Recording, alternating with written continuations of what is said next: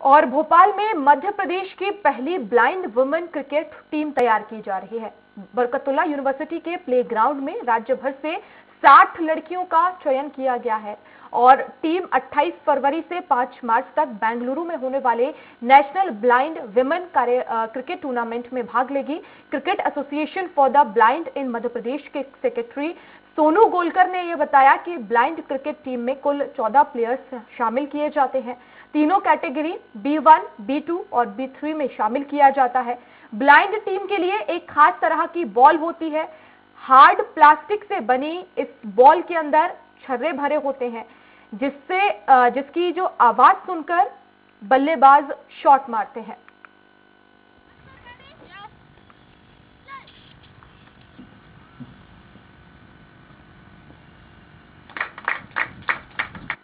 देखिए, इनके लिए मुझे विशेष ये लगता है कि ये खुद ही विशेष है। ये खुद ही स्पेशल है। इनको मैं सिर्फ़ गाइड करती हूँ। इनके जैसे नॉर्मल बच्चों को हम बताते हैं, ऐसा करना है, ऐसा करना है, लेकिन इनके अंदर एक स्पेशलिटी होती है कि ये खुद ही अपने आप में स्पेशल है। इनको सिर्फ़ गाइड करने की ज़रूरत पड़ती है। उनको सब पता है कि कहाँ जब, कहाँ बॉल जाएगी, कहाँ बैठ जाएगा, कैसे करना है। जैसे कि आपने अभी देखा तो जब मतलब हमें पता चला था कि हमारे एमपी में क्रिकेट टीम नहीं है ब्लाइंड वुमेन की, और फिर हम सोचते थे कि हमारे काश हमारे यहाँ भी होती तो हम लोग भी खेलने जाते। लेकिन आज सोनू सर के नेतृत्व में जो है कि हमारे एमपी में भी आज वुमेन की ब्लाइंड वुमेन की क्रिकेट टीम बनने जा रही है, और जिसमें कहा जाता है कि अगर आपकी इच्छा शक्ति मज़बूत हो तो आप कहीं पे भी अपनी राह पा सकते हैं। आज वही देखने को मिल रहा है। मध्य प्रदेश की राजधानी भोपाल में पहली बार महिला क्रिकेट टीम का सोनू भाई हमारे गोलकर हमारे साथ में है। उन्हीं से बात करते हैं। सोनू भाई, जिस प्रकार से बच्चियों का चयन हुआ है, मध्य प्रदेश में पहली क्रिकेट टीम आप बना रहे हैं ब्लाइंड महिलाओं की, क्या एक नई सोच रही और किस प्रकार से इनका चयन किया? बेसिकली दिव्यांगों को अपॉर्चुनिटीज़ वैसे ही कम होती है।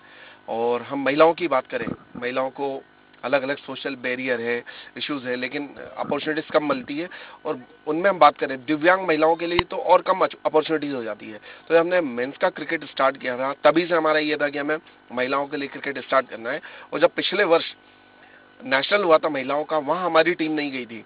तो हमें लगा इस बार जो नेशनल होगा उसमें हमें टीम भेजना है। अगले साल इनका इंटरनेशनल टूर्नामेंट है उसमें हमें इंडियन टीम में हमारी लड़कियों को सिलेक्ट करना है। इसलिए हमने ये स्टार्ट किया। देखा जाए तो आज एक नई सोच इन बच्चियों में कितना में आप देख रहे हैं कि कितना उत्साह है। मुझे लगता है क्योंकि हमने इनसे बात की थी, अगर आप क्वार्टर फाइनल में जाओगे, वही हमारे लिए बहुत बड़ी उपलब्धि होगी इन लड़कियों ने कहा, हम क्वार्टर फाइनल नहीं, फाइनल में पहुँच के दिखाएँगे। जब हम आए थे, ये लड़कियाँ आई थी, तब ये बॉल को भी नहीं पकड़ पा रही थी। आप आज देख रहे हैं कि किसने बढ़िया शॉट लगा रही है। चार दिन का इम्प्रूवमेंट है। तो दस दिन में तो हम उम्मीद करते हैं कि जो ये सोचती है फाइनल तक जाए, ये अवश्य जाएगी। अगर देखा जाए तो जिस प्रकार से सोनू भाई का भी कहना है कि अगर सपोर्ट मिले तो ये दिव्यांग कहीं जाके परचम फैला सकते हैं। आप देखें तो पूरी तरीके से इन बच्चियों का जो कॉन्सेंट्रेट है, उस बॉल पे टिका हुआ है। उन्होंने ये शॉट मार के out camera person Ashu Khan के साथ संजय डोंगर भोपाल।